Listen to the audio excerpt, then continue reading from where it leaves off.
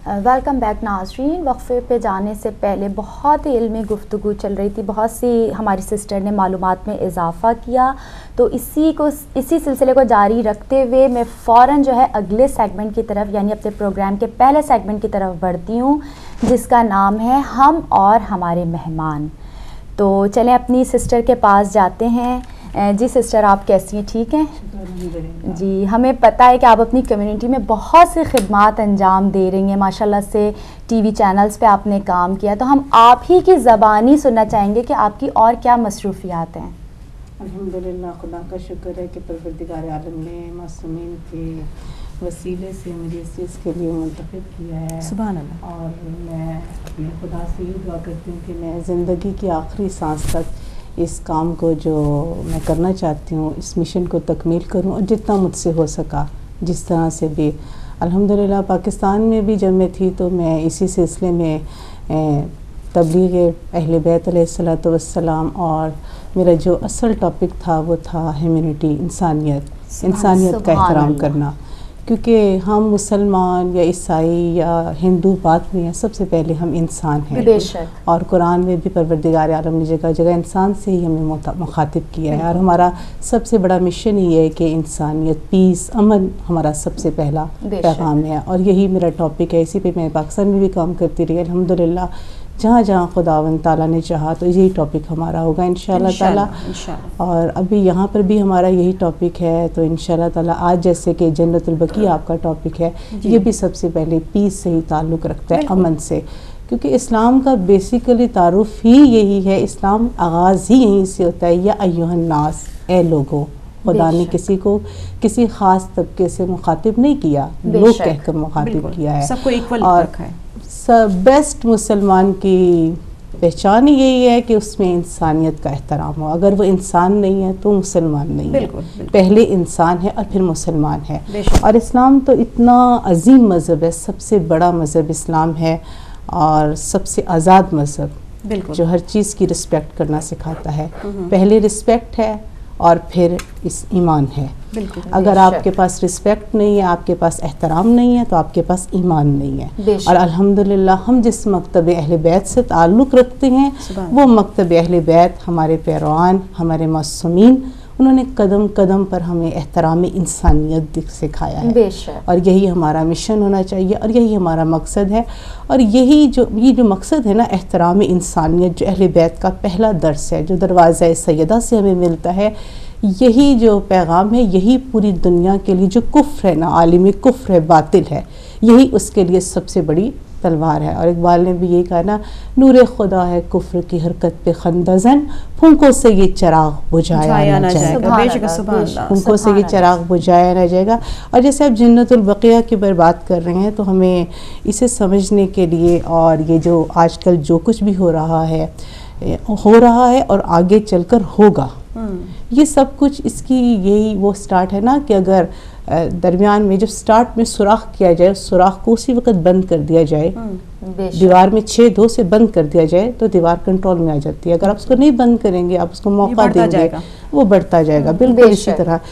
जब ये जो इसको समझने के लिए कि ये क्या था इसे सबसे पहले हम ये समझें कि जब ये सल्तनत उस्मानिया से हिस्ट्री तो आप माशाल्लाह काफ़ी अच्छी बयान कर दी गई है मेरा ख्याल। इसे इतना, लेकिन इस हिस्ट्री बहुत अहमियत रखती है। सुल्तनत उस्मानिया को ख़त्म किया गया और जब ये जो हिजाज़ जी। मैं इसे कभी सऊदी अरब नहीं कहूँगी। ये रसूल क्योंकि ये ये रसूल खुदा का नाम है हज़रत इब्राहिम से चल रहा है कुरान ने इसको पसंद किया है। खूबसूरत नाम जी। बेशुमार अहदीस हैं रसूल खुदा की। रसूल खुदा ने बेशुमार अहदीस में तमाम मकतब इस्लाम की किताबों में मौजूद है कहा कि हिजाज मुझे बहुत पसंद है। बारहा इसके ऊपर ज़ोर दिया है रिसालत ने क्योंकि निगाह रिसालत इसे देख रही थी। और हम्म। जब ये आले सऊद आए हैं इन्होंने आने के बाद जो सबसे पहला काम किया इन्होंने दो अहम काम किए। इन्होंने इसका नाम हिजाज से तब्दील कर कर सऊदी अरेबिया किया। जिसमें दो चीज़ें इन्होंने वाजे की। एक तो सऊदिया से सऊद हम्म। अब आले सऊद। और अरब से कौमियत। इसे एक ख़ानदान और एक कौमियत में तब्दील कर दिया। जबकि हिजाज ना ख़ानदान से ताल्लुक़ रखता है और ना कौमियत से ताल्लुक़ रखता है।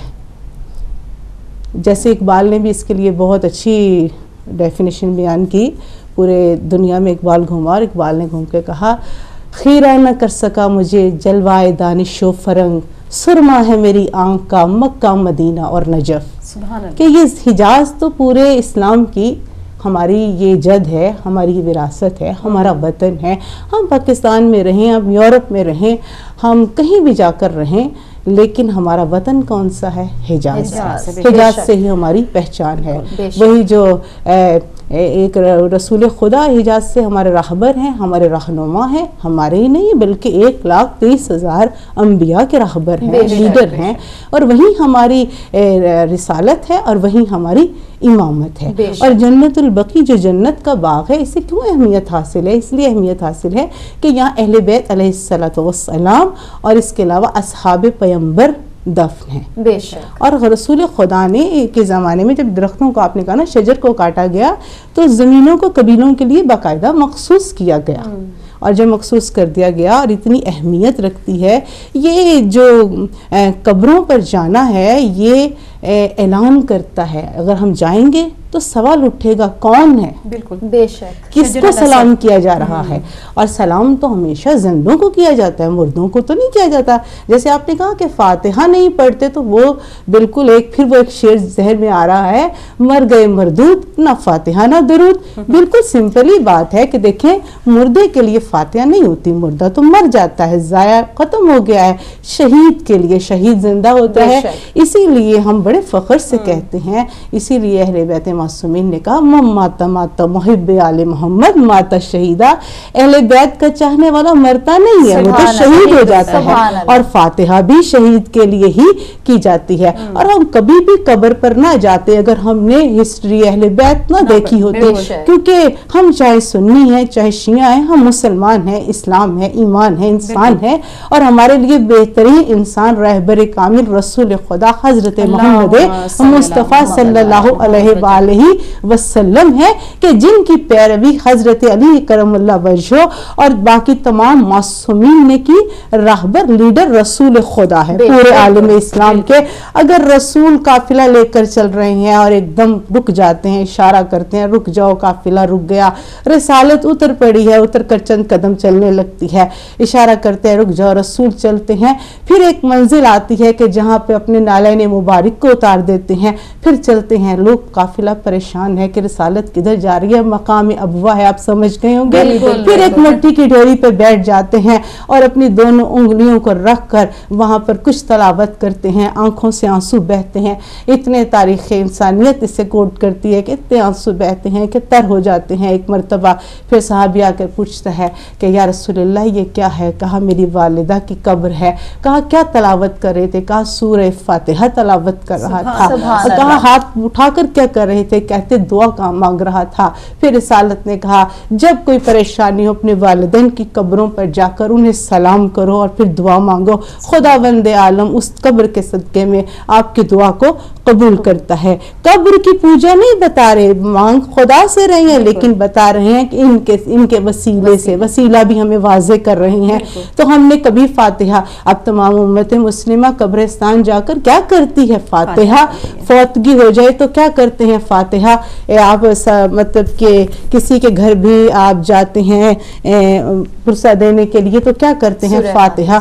कहाँ से लिया? रसूल खुदा से लिया। रसूल ने अगर रसूल ना करते तो हम कभी भी वो काम ना करते फिर आप वाक़ अहद के बाद हज़रत फातिमा जहरा आ, के इरशाद फरमाते हैं के साथ कब्रिस्तान उहद खुदाबंद ताला सबको ज़ियारत नसीब फरमाए। अब तो बड़ी फैसिलिटीज़ हैं सहूलियात हैं बड़ी लग्जरी गाड़ियाँ हैं और उसमें बैठ कर आप कब्रिस्तान उहद चले जाते हैं। सलाम हो उन कदमों के ऊपर जो पत्थरों पर चलकर और उन कांटों से अबूर कर कर कब्र हज़रत हमजा पर जाए और वो कदम भी हज़रत जहरा के हों तो वो कितना अजीम इबादत होगी कि जब हज़रत जहरा हज़रत हमजा की कब्र अथर पर आए और ज़्यारत पढ़ें और सलाम करें और सलाम कर कर जब एक मरतबा घर जाए रसूल खुदा दाखिल हो फातिमा ये क्या कर रही हो? मिट्टी से क्या चीज़ें बना रही हो? कहा तस्बी बना रही हो। कहा ये। मट्टी कहाँ से लाई हो? कहा कब्र हज़रत हमजा की मट्टी है। और पहली जो दाने में आज आपने देखा लोगों के हाथों में दाने हैं दानों की तस्वीर है। तो ये दानों की तस्वीर पे सबसे पहले हर चीज़ कायनात में कोई ना कोई तो बनाता है। उससे पहले ऐसी तस्वीर नहीं आई मट्टी से तस्बीह नहीं आई थी। किसी भी मटेरियल से आई हो। पहली मिट्टी की तस्बीह हज़रत ज़हरा ने कब्र हमजा की खाक से बनाई और अल्लाह को वह तस्बीह इतनी पसंद आई कि खुदा बंद आलम ने तमाम मोमिनीन के लिए जब रास्ते को करबला की तरफ़ पलटा तो वो खाक शफा की तस्वीर हो गई। इसीलिए तो आज हमारे हाथ में ये खाक शफा की तस्वीर पूरे काफ कुफ्र के लिए ये बहुत बड़ा जो है हथियार है। हथियार है वो तो जानता है। हमारे लोग जाने मुसलमान जाने या ना जाने काफिर जानता है कि ये तस्बी का हथियार ये आइटम कहाँ से आया है? ये वो है जो हज़रत जहरा ने हमें कब्र हमजा से अता किया है। इसीलिए तो जितना भी चाहें आप इनको मिसमार करना चाहें आप इन्हें मिसमार नहीं करते। खुदा बंद ताला ने कुरान मजीद में इरशाद फरमाया अपना तारुफ करवाया है अल्लाह ताला ने कहा है अल्लाह नूर समावात वलर्ज अल्लाह ज़मीन और आसमान का नूर है और उसके नूर की मिसाल ये है रोशन चराग है जो चमकते हुए शीशे के फानूस में बंद है। सूरह नूर का तर्जुमा मैं अदिया कर रही हूँ। रोशन चराग है जो शीशे के फानूस में बंद है चराग को जो रोशनी मिल रही है ये बहुत बड़ा मैसेज है आज के आज के बिल्कुल हालात पे उस चराग को जो रोशनी मिल रही है, वो जैतून मुबारक की मिल रही है। जैतून मुबारक न शर्की है, न गरबी है। यानी कि यहाँ पे बताया जा रहा है कि देखो ना मशरक और मगरब का जो तारफ़ करवाया है, मशरक और मगरब क्या है? मशरक जो है वो ईसाइत है और मगरब जो है वो यहूदियत है। और यहाँ पर इसकी गहराई में आप जाएँ तमाम मुफसर कुरान किसी भी फ़िका से ताल्लुक़ रखते हो। उन्होंने कहा मगरब का तो ज़िक्र क्यों? तूर मगरब में है बिल्कुल। हज़रत मूसा मगरब में है यहूदियत मगरब में है और ईसाइत का ज़िक्र क्यों है कि जब हज़रत मरियम चली ईसा कहाँ पैदा हुए? मशरक की तरफ़ चली ना कुरान ने कहा। ईसाइयत मशरक है और यहूदियत मगरिब है और कहा ना ये मशरक से तेल मगरबियत से यहूदियत से तेल मिल रहा है और ना ये ईसाइयत से मिल रहा है इसे कहाँ से मिल रहा है? इल्ला इसलिए कहा उमर सल्ला का इल्ला रहमत ये पूरे आलम के लिए रहमत है। चाहे मशरक हो चाहे मगरिब हो वतन। रिसालत का है ज़मीन अहले बैत की है जर्रा जर्रा अहले बैत का है रिस्क अहल बैत का है। फिजा अहले बैत की है और तराना भी अहल बैत का होगा और अहले बैत के तराने के लिए एक जुमला ही लब्बैक या हुसैन हुसैन। ही एक काफ़ी है जिसमें तारुफ आ जाता है मुझ जैसा तुझ जैसे की बैत कैसे कर सकता है? ये एक ललकार है। एक जुमला है इमामत का खुला पैगाम है। हमेशा के लिए मुझ जैसा भी होगा और तुझ जैसा भी होगा। तू वही करेगा जो तेरे अजदाद करेंगे जी, जी। और मेरा वही करेगा जो मैं उसको सिखाऊँगा जो मेरा। दर्स होगा। जी बहुत खूब, बहुत अच्छी आपने सिस्टर?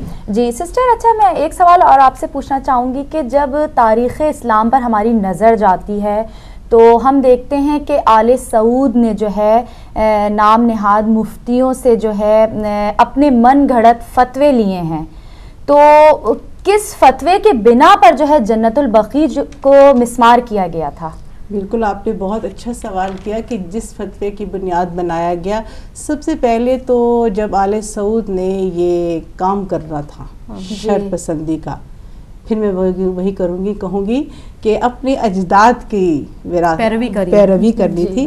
पैरवी करने के लिए उनको वैसा ही शख्स चाहिए था। जैसा के तारीख में उनके बुज़ुर्गों ने अपने लिए मुशीरों को चुना था। जैसे मुशीर उनके रहे थे। शातिर। शातिर मक्कार अयार इस तरह के। इसी तरह इन्होंने बड़े एक इंसान शख्स को चुना उसका नाम था सलमान बिन बुलहत। इसे नज से इसे उन्हें बुलाया। और इसने वो क्वेश्चन इसे आप कह लें स्टेटमेंट तैयार की जिसके ऊपर इसने फतवा लेना था। और वो स्टेटमेंट जो है वो लफ्स टू लफ्स होनी चाहिए ताकि लोगों को पता चलना चाहिए। वो स्टेटमेंट क्या है? उस स्टेटमेंट में लिखता है क्या फरमाते हैं उलमा मदीना? खुदा उनकी अक्ल व फहम में इजाफा फरमाए। कब्रों पर इमारत या गुंबद बनाने और उन्हें मसाजिद करार देने के बारे में क्या ऐसा करना जायज़ है?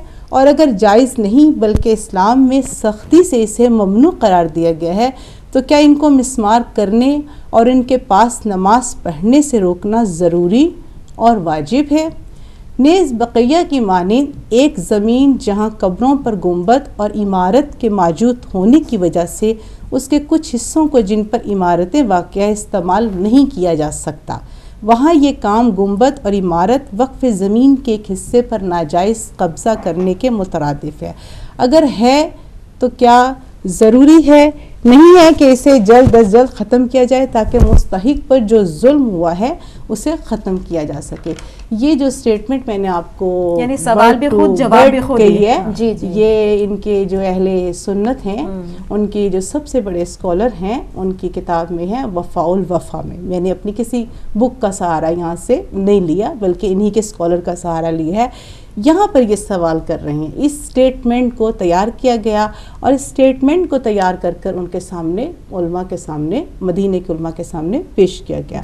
और उनको बाकायदा या अगर आप इस किताब में चेक करें जाकर कहा गया कि अगर आप इस स्टेटमेंट के अगेंस्ट करेंगे तो कत्ल कर उन पर शिरक का फतवा आ जाएगा बिद्दत करार दे दिया जाएगा और बिद्दत से उन्हें शिरक और शिरक से वो वाजिबुल कत्ल हो जाए कत्ल हो जाएँगे। यानी कि आप अदालत भी इनकी देख लीजिए और ये स्टेटमेंट भी आप देख लीजिए कि यानी कि जो दूसरी अमारात हैं उनका एहतराम ज़्यादा ज़रूरी है इनकी निगाह में। हम्म। यानी कि फिर आप कहें वो होटल्स और वो जो बिल्डिंग्स बनेगी यानी कि मकाम मुकदसा का एहतराम इनकी निगाह में अहमियत नहीं, नहीं रखता बिल्कुल ऊपर और जो भी मस्जिद है और फिर पहली स्टेटमेंट में वो कहते हैं कि मस्जिद यहाँ पर जाना मज़ारों पर जाकर नमाज़ पढ़ना से मस्जिद बनाना तो सबसे पहले तो हम इनसे सवाल करते हैं अगर इनका ये सवाल है और इनकी निगाह में अहमियत रखता था तो फिर तो इन्हें मस्जिद नबी में भी जाकर नमाज़ नहीं पढ़नी चाहिए। नहीं पढ़नी चाहिए। वो भी तो एक मकबरा है। बिल्कुल वो भी एक मकबरा है रोज़ रसूल है अल्लाह के हबीब का घर है।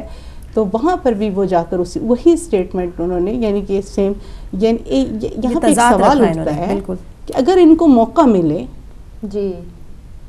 तो ये तो वो काम भी करने से बाज ना आए। जी मैं जो इसी सवाल को मैं और थोड़ा सा वाजे करना चाहूँगी कि जब जन्नतुल बकी को जो मिसमार कर दिया था लेकिन बकौल इनके के शिरक है लेकिन बराबर में ही रोज़ रसूल था तो उसको क्यों नहीं इन्होंने जो है मिसमार किया? उसको उन्होंने इसलिए मिसमार नहीं किया कि असल जो दुख है वो तकलीफ़ है वो तो अहले बैत से है ना। अहल बैत से है। रसूल खुदा देखिए कलमा है बिसमीम ला इलाहा इल्लल्लाह मोहम्मद रसूलुल्लाह। करबला में इसकी जंग नहीं थी। अली करबला में इसकी जंग नहीं थी। बिल्कुल।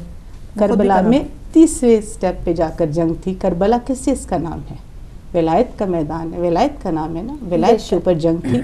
यहाँ पर भी ये जो कब्रों को मिसमार किया गया और आप आ, आज भी आप देख लीजिए कि जितनी भी कब्रें मिसमार की गई जा रही हैं। आप जैसे कि भी आपने पहले इन्होंने हिस्ट्री में बताया कि 1801 में जब इन्होंने नजद ने आल सऊद सऊद ने अब्दुल्ला इब्न सऊद की औलाद ने जब मक्का और मक्का मदीना और इराक और नजफ पर हम्म। हमला किया था कितने लोगों को शहीद किया था कितने ज़ायरीन शहीद हुए थे हज़ारों की तादाद में ज़ायरीन शहीद हुए थे और उसके बाद इन्होंने वहाँ से बेशुमार नवादरात को चोरी हम्म। किया था। ये कातिल भी हैं और चोर भी चोर भी हैं डकैत भी हैं। ये कातिल भी चुके और जब इन्होंने ये यहाँ का इकतदार संभाला था हिजाज का तो इन्होंने सिर्फ़ ये कहा था हमें और कुछ नहीं चाहिए। सल्तनत उस्मानिया के बाद जब इन्होंने हिजाज का इकतदार लिया था कहा था हमें कुछ नहीं चाहिए हमें सिर्फ़ हिजाज दे दो बस हमें हिजाज दे दो। और आपको पता है दो लोग थे एक तो ये अब्दुल्ला इबन सऊद था और दूसरा था फैसल हुसैन था। शरीफ हुसैन की फैसल शरीफ हुसैन की फैमिली थी। फैसला क्या हुआ कि इन्होंने कहा हमें सिर्फ़ हिजाज चाहिए और कुछ नहीं चाहिए दूसरी जो फैसल हुसैन शरीफ की जो फैमिली थी उसको इन्होंने फिर पूरा जो है ये जो है इराक है शाम है उसके चार बेटे थे चारों बेटों में वो तकसीम हो गया अब चारों बेटों में से उनकी औलादों के पास आज आज की इस मुताबिक अब तो कोई नहीं है एक बेटा भी, भी है जो यमन का बादशाह है हम्म। वो उसका ही फैसल हुसैन की ही औलाद से ही है उसके पास वो हुकूमत बाकी है बाकी सब बगावत के उसके ऊपर उनके हाथों से हुकूमत निकल गई। इन्होंने सिर्फ़ हिजाज का ही मुतालबा किया था। हम्म। क्योंकि जो इनका पॉइंट ऑफ़ व्यू है इनका क्या ये मुसलमान नहीं है? इंसानियत नहीं है इनके अंदर। एहतराम इंसानियत नहीं है। एहतराम इंसानियत क्या है इस्लाम क्या सिखाता है? कि अगर जनाजा आ रहा हो तो आप उसके इस्तकबाल के लिए खड़े हो जाएँ। जनाजा आ रहा हो उसके इस्तकबाल के लिए खड़े हो जाओ और कब्रों का एहतराम करो कबूर का एहतराम करो। ये तो कभी भी कब्रों का एहतराम क्या करना आपको पता है जन्नतुल बकी के वाक़े के बाद क्या हुआ? यहाँ पर बाकायदा हल चलाए गए। बाकायदा यहाँ पर हल चलाए गए काश्त की गई। और आप जाके देखिए उस काश्त के बारे में जुमले क्या कहे गए? सब हिस्ट्री में मौजूद है तारीख में सब कुछ मौजूद है। सारे और जो मोहतरम मुकदसात अहल बैत थे, उनको मिसमार कर दिया गया। सिर्फ़ जन्नतुल बकी को तो मिसमार नहीं किया गया।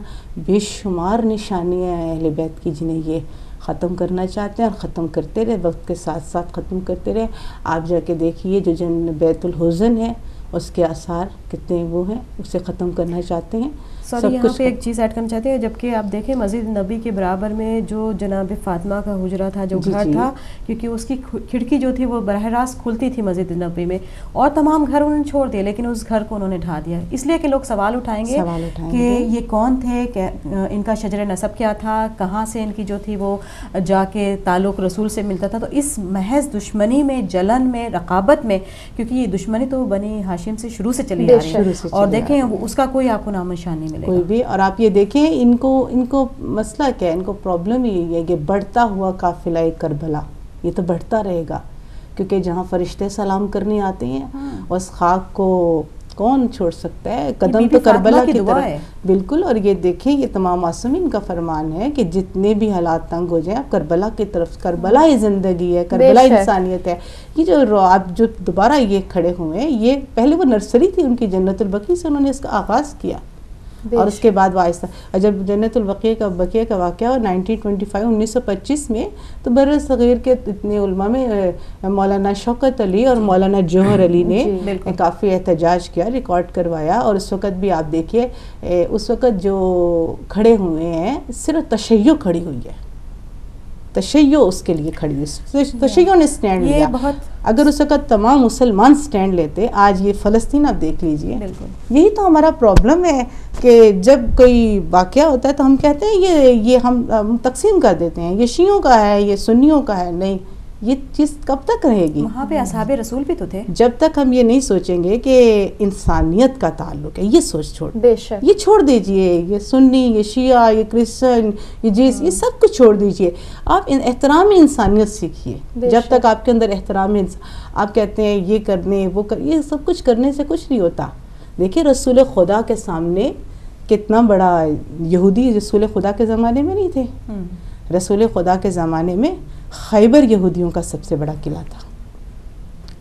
और सबसे ज़्यादा जगह भी जो है वो यहूदियों के साथ हुई बिल्कुल आपने रसूल तारीख रिसालत बताती है कि जब तक खैबर सामने है किला यहूद सामने है हम इसको कुछ आगे नहीं बढ़ सकता इस्लाम आगे नहीं बढ़ सकता आज भी खैबर हमारे सामने है।